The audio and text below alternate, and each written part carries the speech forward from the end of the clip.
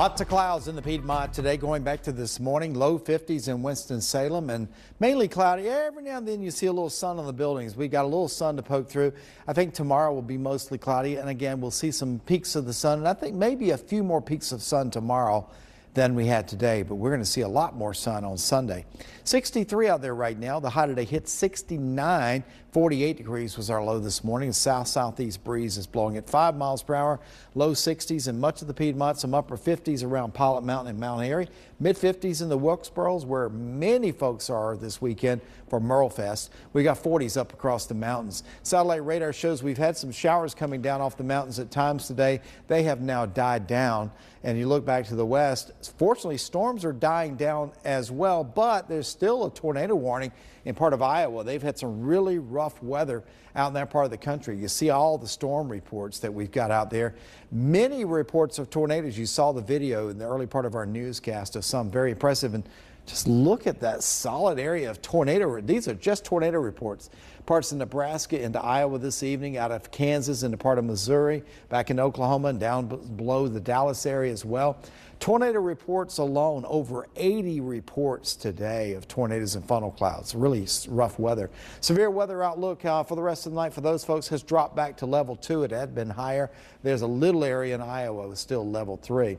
That system again is our next one. I'm going to show it to you here in a moment, but let's look at tonight. First of all, and tonight's going to be a quiet night, just some clouds moving across the Piedmont. You'll see those when you wake up in the morning too. And then during the day tomorrow, temperatures a little bit milder, getting up into the low 70s. That's going to rely on us having at least a few peeks of sunshine. And then the warmth that's out west is going to start spilling our way on Sunday. Then you see the showers and storms associated with that system not moving very much between now and Sunday morning. It's still back in Missouri and parts of Arkansas. And then the energy with this system starts to go more north and it's not going to leave much when it finally comes our way. But even Sunday afternoon, we're looking really good around here. And that's great for folks that want to go to the Merle Fest. 71 and 78 with increasing sunshine. There'll still be some clouds tomorrow, but more sunshine on Sunday. Monday looks great. There's that system causing the problems as it starts coming in.